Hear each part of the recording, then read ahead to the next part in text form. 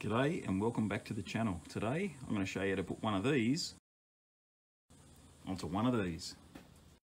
Five, four, three, two, one.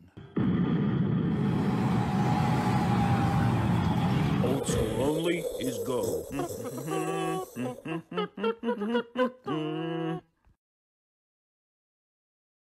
Yep, I've got my BF2 XL Falcon Ute, NAU Barra, and I have all of this to throw on this. There's a lot of people that diss it. I don't really care what people think. I know people are getting good reliable results when it's done properly and a lot of it's in the tune. So let's get into it. I've already taken my, uh, my header off, heat shields off, um, intake pipe is off there, bumpers off, which all needs to come off. Um, got to make room for intercooler, piping, all that sort of stuff. Now I'm going for a full factory setup. I don't have anything modified. I do have some bigger um, injectors just in case we need them. I know they do run the stock injectors, BA, uh, sorry, the NA, NA and turbo injectors are the same, but we've got some bigger ones just in case, and 42 pounds if we need them. Um, going to run a standard ECU and a external pressure regulator. I'm not going for maximum performance because the I've got stock internal, stock gearbox, it's the four speed, stock diff. So later on, yeah, maybe down the track, we might upgrade this, bigger rods, bigger valve springs, forged pistons, big exhaust, big turbo, you know, six, 700 horsepower, but that's not today. We are just going for reliability around 340 horsepower to 50, 260 kilowatts maybe. We'll see what happens. Exhaust manifold is on and on for good. Um, one thing I'm yet to confirm, and we'll find out in a second, is where the water feed comes from for the turbo. One thing I want to do before we go any further is just confirm that the crossover um, pipes all line up with the NA setup. Mainly that guy. Yep, that's going to work. Um, one thing I was thinking of doing and is cutting up the original heat shield off the header um, and making it work around this area. I do have a cover for the turbo, but I don't have the factory replacement for that guy. So we'll work something out there just to make sure we don't have too much heat going into these pipes. And use what do I have to move from inside of here to get my intercooler in. I'm gonna reckon that horn's gotta have to go, um, but I don't know. A genuine Garrett one, which is really cool. We'll just stick with this for the time being anyway. And I think I found how it goes in. Um, there's already holes for it. So, where are they there? And they're behind the bumper rail. This, uh, this is a power steering cooler, believe it or not. Cooler pipe. It is in the way of the intercooler. Intercooler's mounted. Um, I was actually able to mount the horn back in there once it was all in, uh, in its factory position, which is fantastic. The only thing I haven't worked out yet is this stupid cooler. It's definitely not rocket science, and uh, yeah, I'll leave you with that one. But is it even necessary if it's only for the power steering? It's not as if it's going to do a lot. I'm sure there is a solution. Alrighty, a little bit of mucking around, only because I didn't realise that I'd been shortchanged a lower intercooler pipe, so I'm going to have to source one of those. Um, so let's go up top and um, do what we've got to do up here. I think it's time to throw Mr. Turbo on. Once he's installed, then we've got to go down underneath and modify the sump so the NAs have the same sump as the turbo except where the oil um, return line goes in it's not drilled or tapped so that's one of the jobs we've got to do so in my hunt for parts which I say has been quite enjoyable this whole process has been a lot of fun. Um, half the fun's in building this stuff and making it work and that's uh, I'm really enjoying this. Anyway I was able to find a genuine Garrett. It's a uh, GT35 82R, um, which is a ball bearing turbo. Um, the only issue with this turbo, I'm going to take this apart, is the core is cactus. But came with a brand new genuine Garrett core. I've got the new core for it, so everything is genuine Garrett. Um, is really what I wanted to do. I didn't want to go putting Chinese in there. Um, it's just my preference. So I'm going to throw this together um, with the new core and we'll chuck it on the car. Look at that. Beautiful.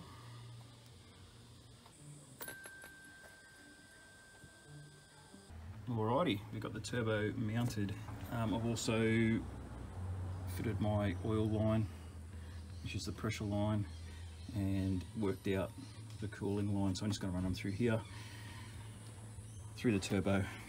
One's been cut up to there, so that'll feed my the cooler for the um, the turbo oil feed. What I'm going to do now is get under this side, uh, remove the oil pressure switch or whatever it is down there, the oil temperature switch, whatever we take out, fit in the feed line, which is going to come down underneath um, and get that side all finished. And then we'll get back under there where I showed you last time and we'll uh, try and fit the uh, oil return. Righto, very, very difficult to see and I'm going to film myself doing it. But I've removed the oil filter. Let's see if I can get this up there up here, I think that's it, is the, from what I believe, it's an oil temperature sensor. I don't really care what it is. It's the oil line that we need to tap into to get our pressure to our oil feed for our turbo. Let me show you what you need. So the block has a 3/8 thread in it, so is the uh, the switch in there. So you need a double-ended male 3/8 adapter, a 3/8 female T,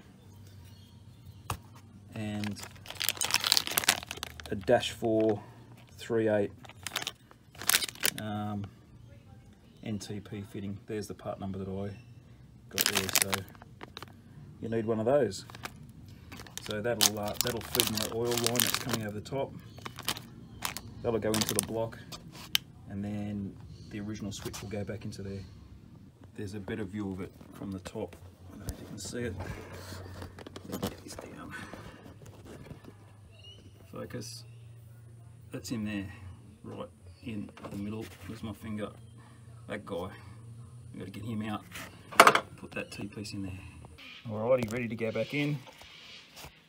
If you're not sure, it's the grey one. And when you take it out, it's going to have oil behind it. So right above the oil filter. Chuck it back in, put the oil line on and that side of it's finished. Here you go, oil line in is done. One thing you must do, and I saw this on another guy's video, thank you very much. Um, this is your main positive battery line to your starter motor. It runs right next to the um, turbo so you need to unpop those clips there and pop it down, reroute it down underneath where the factory turbo ones go. There are holes for the little black clips to pop in, so just get it away from the, the main body here because it'll just melt. Oil return's done. That wasn't hard. I wasn't sure if my drill would fit between the chassis rail and the sump, but it did.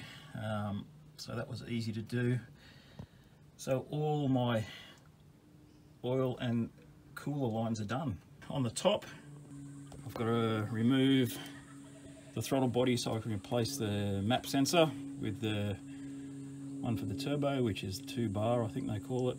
Um, I've got a four bar fuel pressure regulator to put in it to replace the, um, the NA one. Well, it's been a couple of days since I played on the Ute. Um, I had to chase down some parts. So today I managed to find myself a fairly decent X-Force system. Tailpipes all stainless. Um, yeah, it's in good condition. Catalytic converter's in good condition.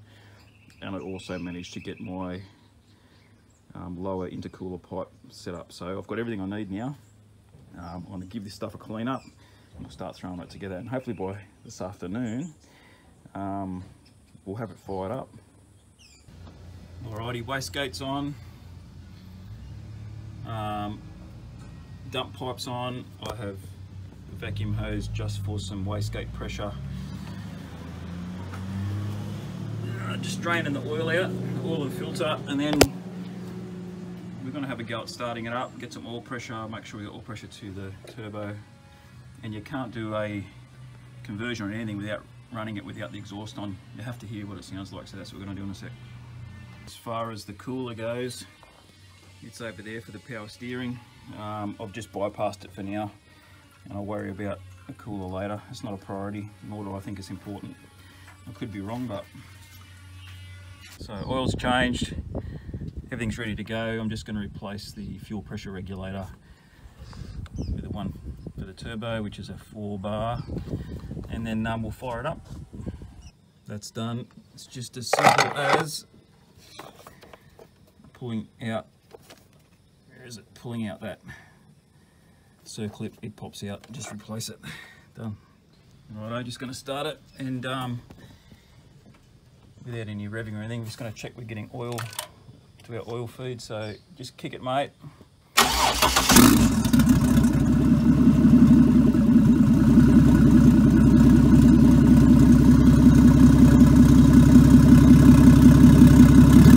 Righto, we've got a good flow of oil, so that's good. That's connected back up. Just fire it up again, mate.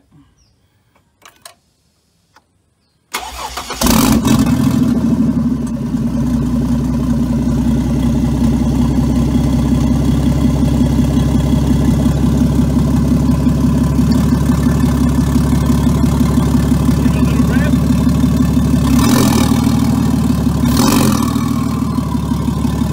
Some more.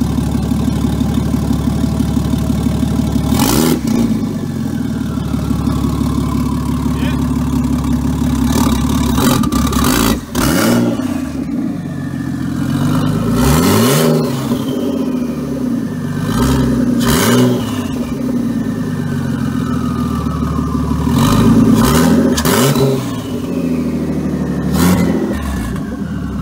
Who needs an exhaust, right? That's straight out the dump. I love it. But anyhow, let me show. I'm just let- letting it run, looking for leaks and stuff like that. It's obviously not running any boost at all.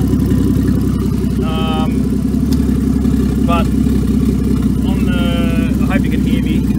On the NA manifold, you've got a butterfly in here, which needs to be disconnected when you're running boost. So all you do, you watch this, you pull, pull this off that opens the butterfly. So once I start running boost through this, I'll have this disconnected. You can hear it um, vacuum in that, and I'll block that off. It goes to that valve there, whatever that is. Um, and I'll stick something in there, block that off, so we're not getting any vacuum.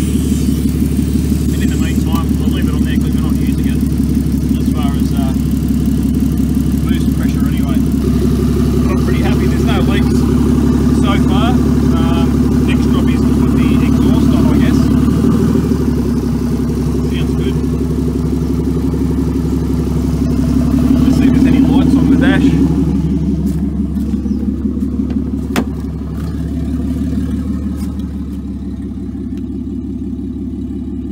Yeah, engine management lights on. That's to be expected.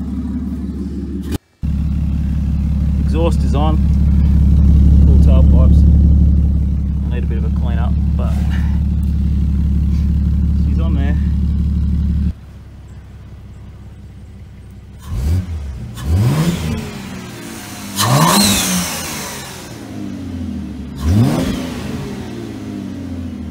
Alrighty, I've just chuck the intake on. Um, let's see if we can make some boost.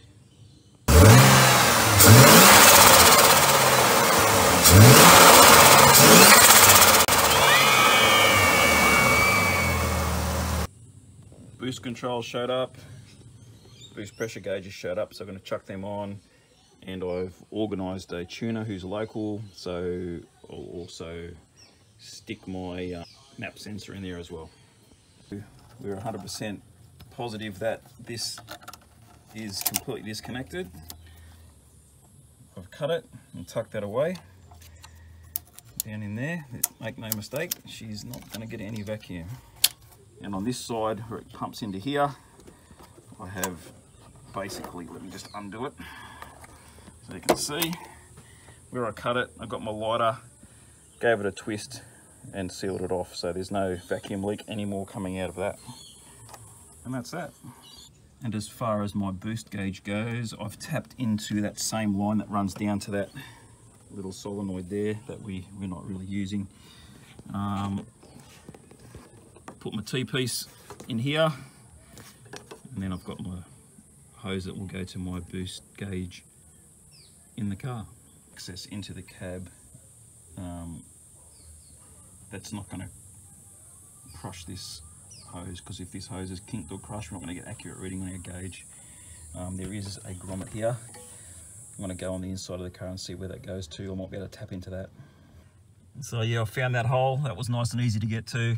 And I'm going to assume that that's for a clutch pedal setup for a manual.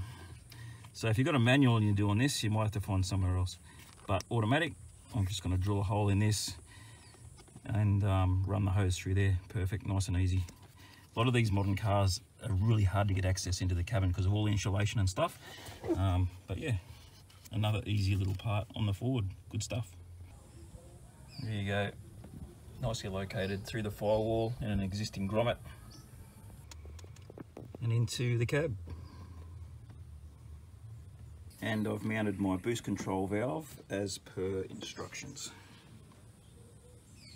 So as far as my boost gauge goes, um, a lot of people mount them up here. You get like a dual pod setup. Um, some guys mount them on their A-pillar. I don't know whether that's legal or not. Um, but I don't want to run extra gauges. I mean, they look great, but I don't need to run extra gauges. I just want my boost gauge. So all I've done, I had a spare gauge bracket kicking around in my shed. It's just like a universal one and it's not even screwed in. It just sits between the dash cluster and the dash panel. And she just sits there just fine. So that'll do. Slide it over as much as I can without hitting my um, hazard light switch. And in the driving position I can see all my gauges over there. So yeah that's going to work out just fine. And I've not modified anything. And I'm just going to run my wire underneath. And uh, we need to hook up the, um, the actuator for the boost gauge. It's electronic digital one so the vacuum line goes into that. So I'll screw that up underneath the dash. All right so I guess the next thing that we can do is um, take it for a bit of a spin and see what happens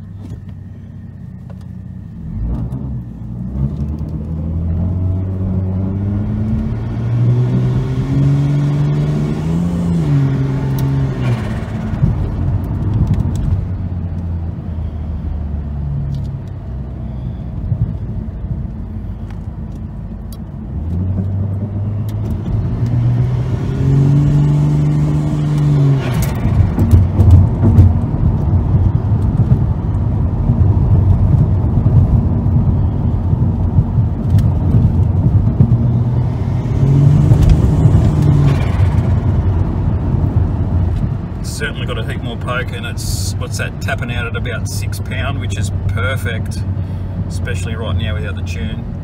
So I'm going to go and put it away before I get too excited. And um, I've got a couple of things I want to do to it before I get it tuned I want to service the gearbox give that every chance. And my exhaust is touching as well. So I need to get it up on a voice sort that out. I'll do that when I do the transmission um, I need to do the plugs, I need to do the map sensor, and I'm waiting for a boot for the intake, um, part of the intake, so I can fit that properly so it's connected to my airbox. So yeah, a couple of little things to do, but she's driving, going, you can hear that exhaust bumping away. But I'm pretty stoked, man. It sounds good inside, it sounds unreal. Just give it one more little squirt on here before I park it up.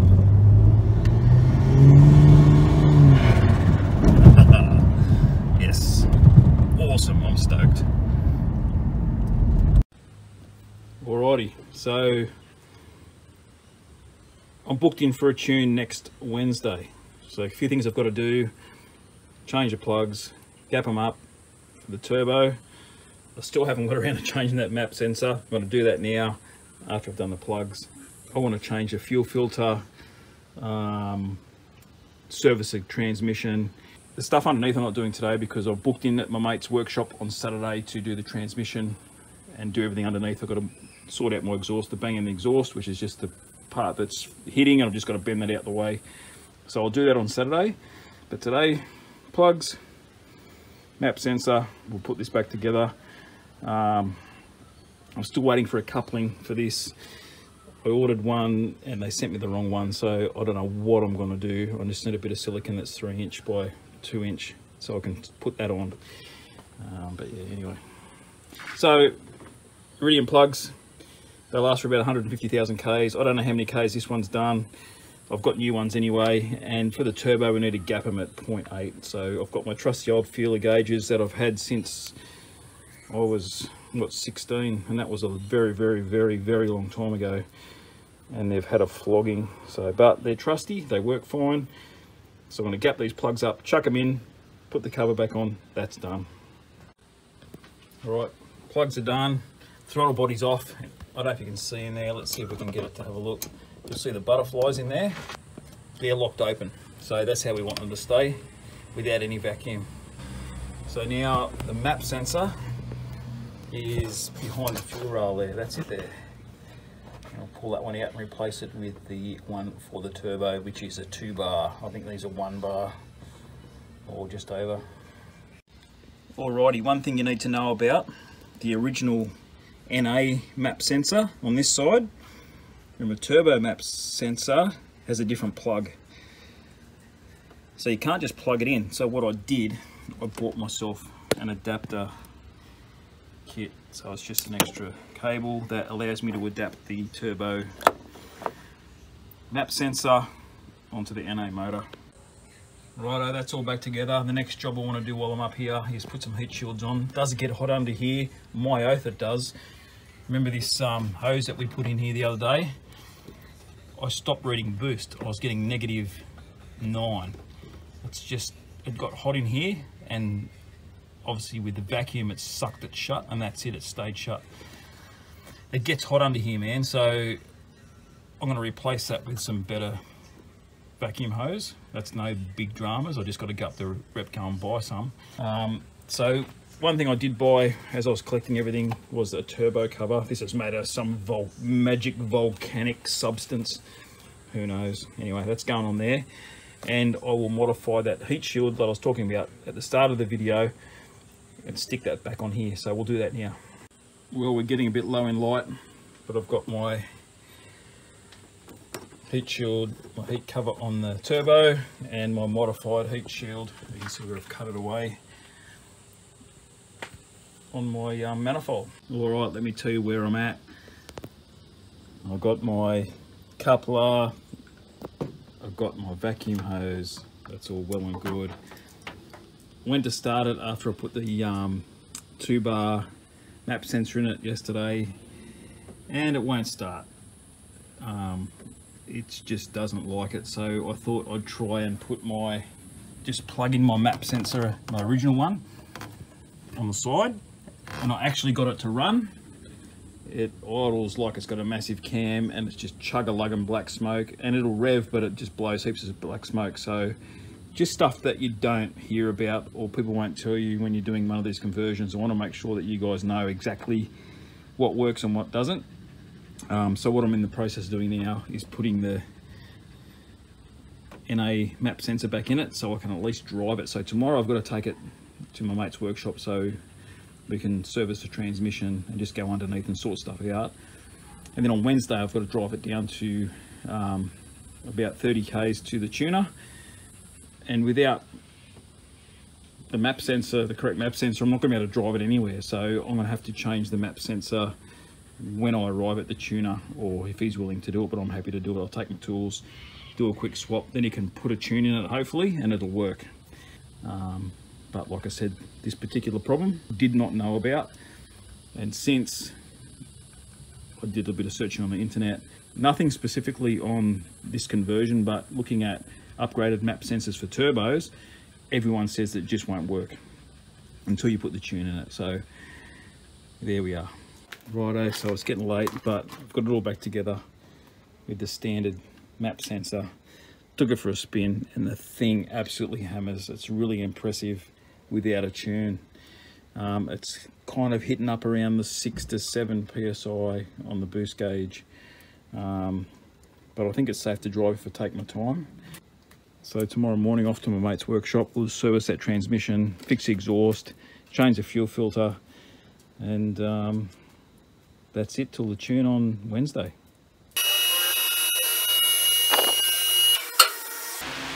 Here we are underneath. Bit of a ding in the sump. We'll straighten it out when we take it off. And my exhaust is hitting on the floor here. So I'm just going to bend that out of the way.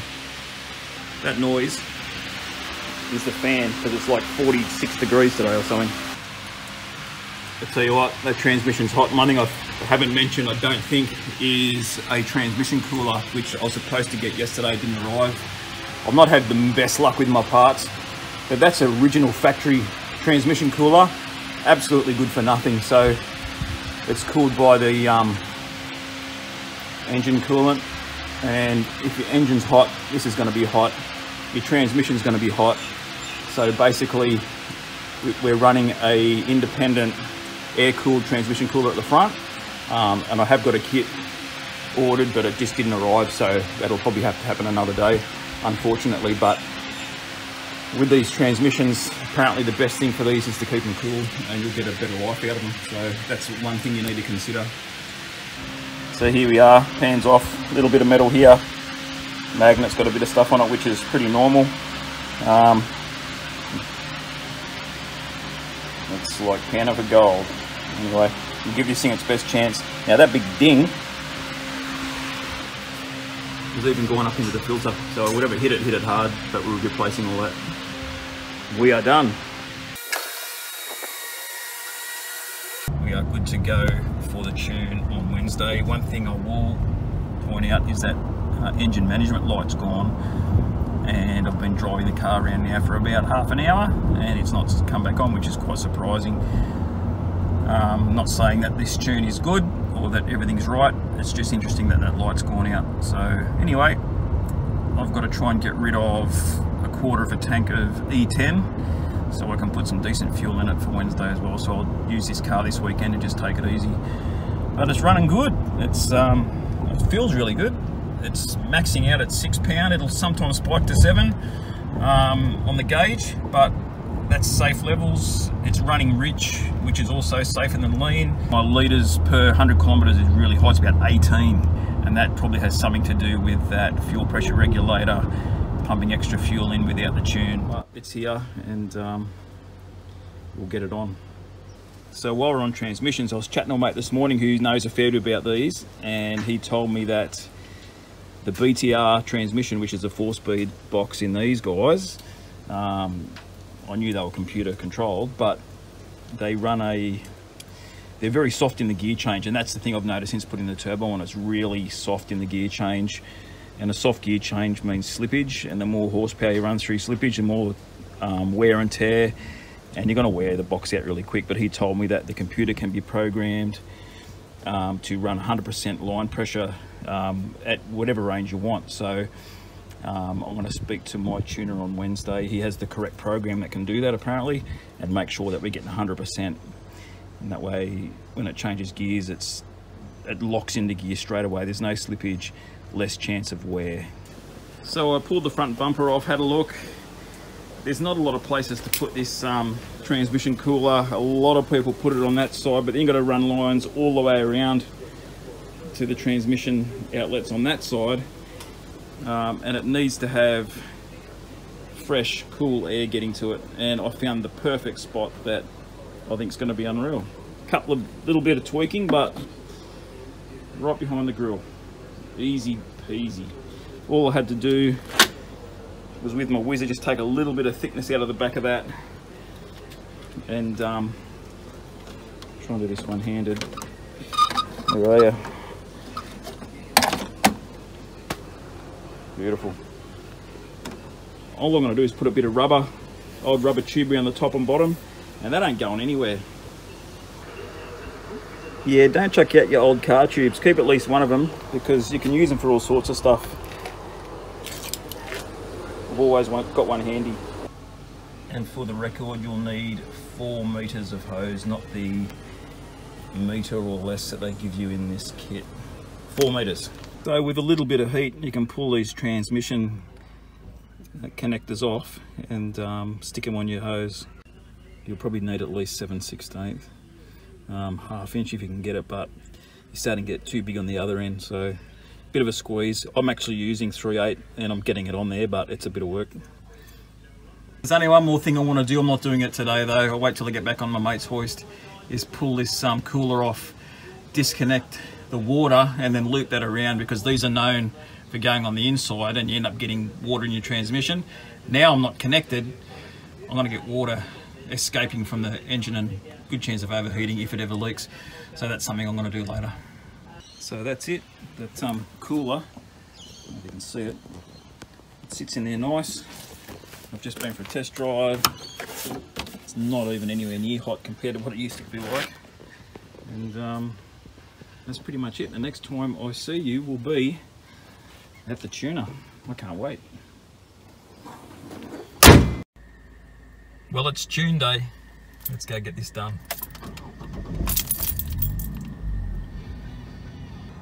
All right, I wish I could have filmed that and I couldn't really be there myself, but um, I just picked the car up from the tuner and um, I'm really, really happy. He is really happy with the tune. He's tuned it according to the way the car is with stock, everything else. Um, he's photocopied the dyno sheet for me. Um, he actually got up to 270 kilowatts, um, but in reality, you can actually see that line there. It's quite faint, but it shoots right up here and then that's the I think this is the one that we're running with um, here so that's the gearbox isn't happy which we thought he's tuned it as best as he could um, but that's when it hits full pressure 100% pressure and it just really starts to shoot up so there's a bit of slippage going on here in the mid-range but you can't really feel it when you're driving um, so yeah I'm pretty happy with that so around 250 kilowatts um, which is a nice safe nice safe tune. He's got it running a little bit of rich to help keep it cool. Um, you've got to remember we're running standard non-turbo pistons and stuff like that. So standard gearbox, standard diff. I'm to have to do something with this gearbox, but I have taken it for a spin and um, the thing is awesome. It just pulls really hard compared to what it was like. It's no 10 second drag car, but it goes really good. So let's uh, let's just uh, go for a drive and see what happens. So he's basically tuned it so I can drive it as normal. He's happy for me to tow with it. He said it's a really good tune for a tow. Um, he said it's got a lot of mid-range in there. Um, and really, like he said, when you're pulling 6,000 RPM in your daily driver, so um, the tune is, uh, it's a good tune for, yeah, he's really happy. He was stoked. And he, this guy tunes a lot of high performance stuff. This is, um, this is the bottom end of the stuff that he tunes. So it's set up, he told me it's set up around sort of seven and a half PSI boost. Um, he's pretty happy with that. He said it should run fine on that. He um, also really liked the way I'd set the car up. So I mean, it's standard, so he, there's not much not to like, I guess. Um, but he said everything works, exhaust is good, um, everything worked good. So.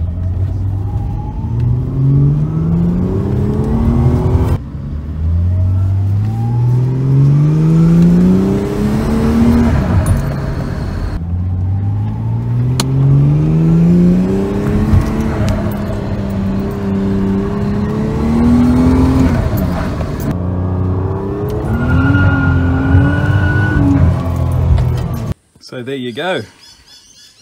To the tune of Rosella's up in the tree over behind me. Um, let's summarise what we did and what we got to, I guess. I'm no bird expert. They're probably parrots or galahs. I don't know.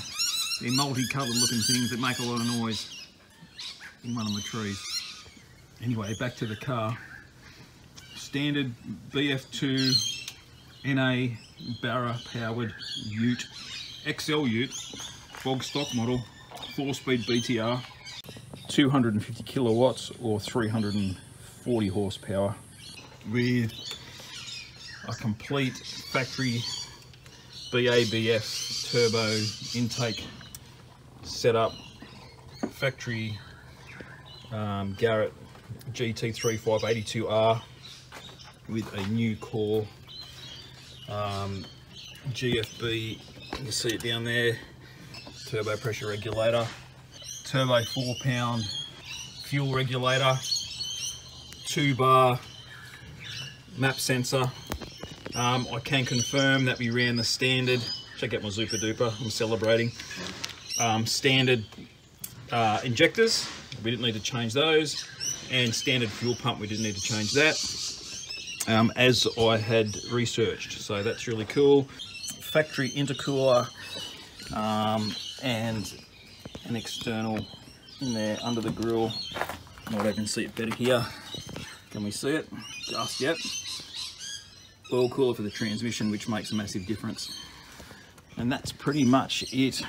It works, it works good. Don't be scared to do it. Just make sure your tuner knows what they're doing.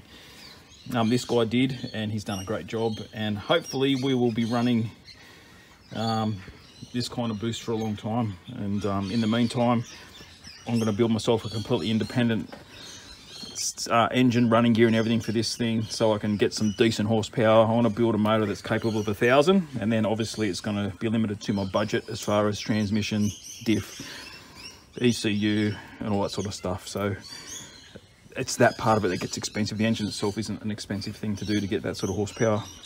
But I hope you've enjoyed it. I hope um, you're inspired and yeah, don't be scared to do it. It's all about your tuner. I think if your tuner knows what they're doing, there's nothing wrong with doing it this way if you do it safely. Um, so yeah, I hope you liked it. So it's from me. I'm pretty stoked.